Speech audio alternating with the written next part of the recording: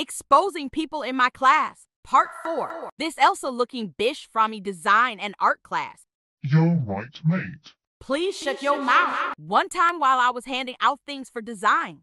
You creep. And last Friday, Willie was looking at the old school pool. She hit me across the head with her Christy Rander fizz bottle. And then she started laughing very hard. Help!